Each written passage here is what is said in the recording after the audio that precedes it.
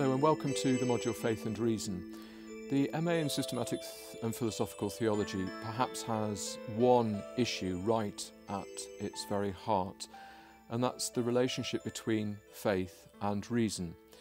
In today's debates about uh, re religion in public life, about the nature of rationality, its scope, about how disciplines such as theology relate to modern scientific disciplines, these issues have at their heart the relationship between faith and reason. How do we understand faith? How do we understand reason? Faith is often regarded as something entirely private, uh, a personal predilection, something we choose to follow, something we might or might not believe. Uh, faith is often regarded as simply a leap in the dark, whereas reason is something that is public. Uh, rationality is something that we share and discuss and our powers of reason are something that we can all exercise as human beings. So, faith and reason are regarded as, in many ways, very, very distinct. Faith is private, reason is public. And very often in public political discourse today, uh, various public figures, be they intellectuals or politicians, policymakers, are very reluctant to discuss issues of faith because these are regarded as private and individual, nothing to do with public debate. But this division between faith and reason, we come to learn, is very modern, very peculiar, and figures prior to modernity, leading right up to the High Middle Ages, would not have regarded faith and reason as, in any sense, juxtaposed.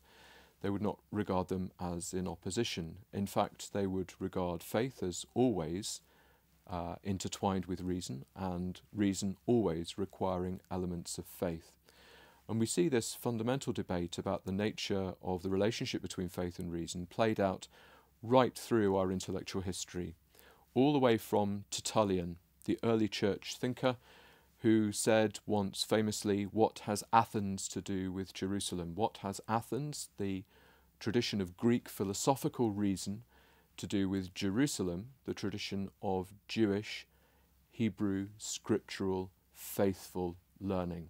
So, right from the very beginning of the Christian period, the debate about the relationship between faith and reason can be seen.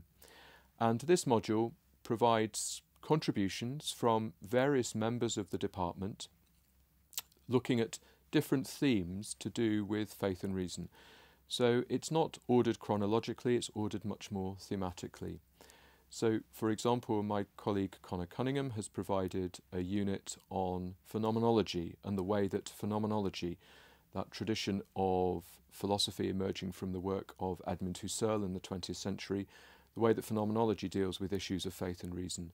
My colleague Philip Goodchild has provided a unit on faith and reason through the tradition of philosophy of spiritual practice that we find particularly in figures such as Edith Stein.